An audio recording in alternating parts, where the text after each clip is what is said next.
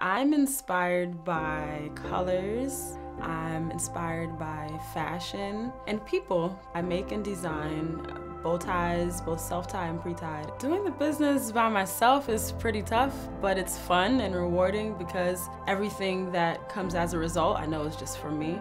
I'm basically self-taught. I'm drawn towards color and texture. Once I find the fabric, I kind of envision the bow tie in my mind. Something will just pop out and I'll just be like, oh my God, this is perfect. I buy it, I bring it back to my studio. I cut out the fabric and the pattern that I want it to be. You know, I sew all the pieces together, do a little bit of hand stitching just to make sure everything is looking right.